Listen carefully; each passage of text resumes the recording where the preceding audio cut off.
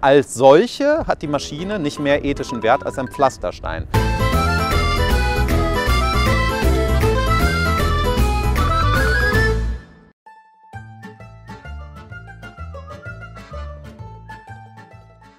Du hast ja jetzt ein neues Buch rausgebracht. Da geht es um künstliche Intelligenz. Gibt es sowas überhaupt?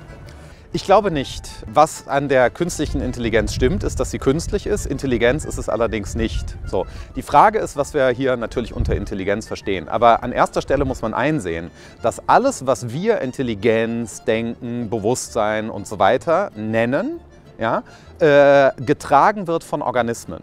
Das heißt, alles Denken, jede Intelligenz, die wir kennen, ist Intelligenz vom Standpunkt eines über Jahrmillionen entstandenen organischen Systems. Ohne solche Organismen gibt es nicht wirklich Intelligenz.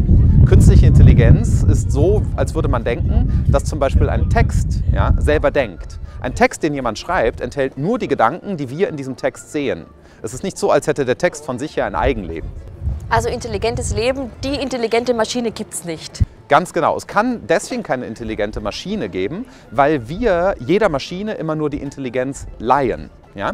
Das heißt, ein Auto kann bestimmte Dinge verrichten. Das kann auch von selber fahren, wenn, neuerdings, wenn wir das richtig programmieren. Praktischerweise, genau. ja. Aber das Auto hat ja nicht zum Beispiel das Interesse, zum Supermarkt zu fahren und Bananen einzukaufen. Das heißt, der Kontext, in dem wir so etwas haben wie Autos, ja, ist der Kontext bestimmter Lebewesen.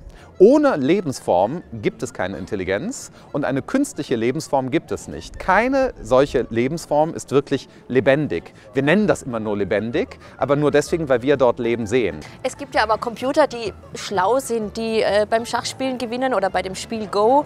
Ähm, das macht mir dann schon auch Angst, dass Maschinen vielleicht so etwas wie ein intelligentes Eigenleben entwickeln könnten.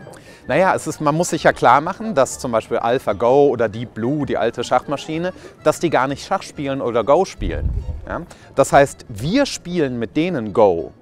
Es ist nicht so, als würde die Maschine spielen. Man kann ja gar kein äh, Spiel spielen, ohne zum Beispiel gewinnen zu wollen. Wenn ich Schach spiele, möchte ich gewinnen. Habe ich ein bestimmtes Interesse daran. Ich sehe die Schachfiguren. Schach ist Teil der menschlichen Lebensform. Wenn man den Wunsch zu gewinnen und zum Beispiel toll, sich gut zu fühlen, weil man Sieger ist und so weiter, wenn man den rausnimmt aus dem Schach, ist da gar nichts mehr da.